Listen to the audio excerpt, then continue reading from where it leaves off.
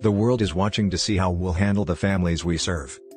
Thanks to television, cell phones, and computers, articles and images expose our children to the racial injustices that permeate our communities. The effect ricochets back into schools where our students show up confused and afraid. As a part of the Character Education series, Winceyco has developed a new arts-infused virtual learning workshop.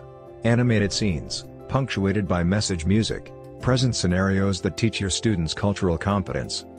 In this interactive production, students view a series of cartoon scenarios that depict an experience or contribution made by people of another culture.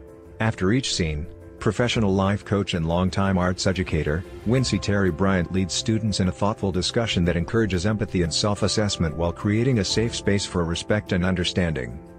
Our students can't wait until we return to the physical building to support them. The children need our help right now.